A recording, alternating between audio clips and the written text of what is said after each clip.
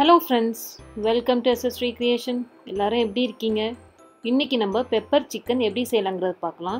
இது ரொம்பவே ஈஸியான ரெசிபி சீக்கிரமாக செஞ்சிடலாம். வாங்க வீடியோக்குள்ளே போயிடலாம். பேனில் பார்த்தீங்கன்னா மூணுலேருந்து நாலு டேபிள் ஸ்பூன் போல் எண்ணெய் ஆட் பண்ணுறேன் எண்ணெய் சூடானோன்னு பட்டையும் கிராம்பும் ஆட் பண்ணிக்கிறேன்.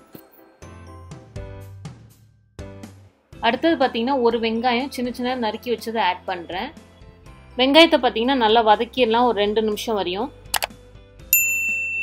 ரெண்டு நிமிஷம் வரையும் வெங்காயம் வதக்குனது பிறகு பார்த்தீங்கன்னா பூண்டு பத்துலேருந்து பன்னெண்டு சின்ன சின்ன நறுக்கி வச்சதை ஆட் பண்ணுறேன் கூடவே பார்த்தீங்கன்னா இஞ்சி ஒரு இன்ச்சு போல் அதையும் சின்ன சின்ன நறுக்கி வச்சுருக்கேன். அதை ஆட் பண்ணது பிறகு பட்டை மிளகா மூணு ஆட் பண்ணுறேன் கூடவே பார்த்தீங்கன்னா பச்சை மிளகா ரெண்டு ஆட் பண்ணிக்கிறேன்.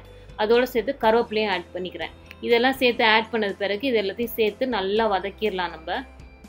இந்த ரெசிபியில் பார்த்தீங்கன்னா இன்க்ரீடியன்ஸ் வந்து ரொம்பவே கம்மி. நம்ம சீக்கிரமாக செஞ்சு முடிச்சிடலாம்.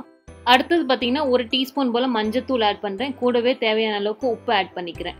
கடைசியாக பார்த்தீங்கன்னா மிளகு ரெண்டு டேபிள் ஸ்பூன் சோம்பு ஒரு டீஸ்பூன் ஜீரகம் ஒரு டீஸ்பூன். இது எல்லாத்தையும் சேர்த்து நல்லா அரைச்சி வச்சுருக்கேன். ஸோ இது நான் ஃப்ரெஷ்ஷாக அரைச்சிருக்கேன். எப்போதுமே நம்ம ஃப்ரெஷ்ஷாக அரைச்சி பெப்பர் சிக்கனுக்கு ஆட் பண்ணோன்னா ரொம்பவே டேஸ்ட்டாக இருக்கும்.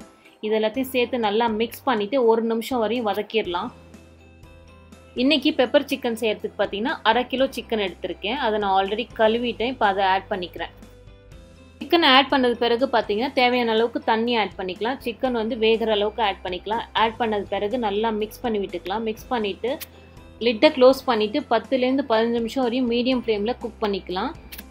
அவ்வளோதான் நம்ம எல்லா இன்க்ரீடியன்ஸும் ஆட் பண்ணிட்டோம். இப்போ சிக்கன் குக் ஆயிடுச்சுன்னா நம்மளோட பெப்பர் சிக்கன் ரெடி இதுதான் நான் ஆல்ரெடி சொன்னேன். ஸோ இன்க்ரீடியன்ஸ் ரொம்பவே கம்மி. ரொம்பவே சீக்கிரமாக செஞ்சிடலாம் பெப்பர் சிக்கன் பதினஞ்சு நிமிஷம் கழிச்சு லிட்டை ஓப்பன் பண்ணால் நம்மளோட சிக்கன் வந்து ஆல்மோஸ்ட் குக் ஆயிடுச்சு. இப்போ இந்த ஸ்டேஜில் பார்த்தீங்கன்னா அரை டீஸ்பூன் போல் நான் வந்து பெப்பர் திருப்பியும் ஆட் பண்ணிக்கிறேன். இந்த மாதிரி நம்ம ஆட் பண்ணோன்னா இன்னும் ரொம்ப ஃப்ளேவர் கொடுக்கும்.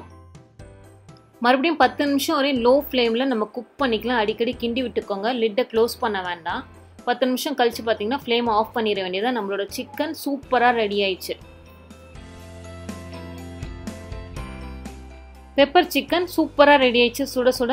ஸோ ரொம்பவே ஈஸியான ஒரு ரெசிபி சீக்கிரமாக செஞ்சிடலாம். கண்டிப்பாக நீங்களும் உங்கள் வீட்டில் ட்ரை பண்ணுங்கள் இந்த வீடியோ உங்களுக்கு பிடிச்சிருந்துச்சுன்னா லைக் பண்ணுங்கள் ஷேர் பண்ணுங்கள் கமெண்ட் பண்ணுங்கள் எங்கள் சேனலை கண்டிப்பாக சப்ஸ்கிரைப் பண்ணுங்கள் கூடவே இருக்க பெல் ஐக்கனை கிளிக் பண்ணுங்கள் அடுத்த வீடியோவில் அடுத்த ரெசிபியோட சந்திக்கிற வரைக்கும் பாய்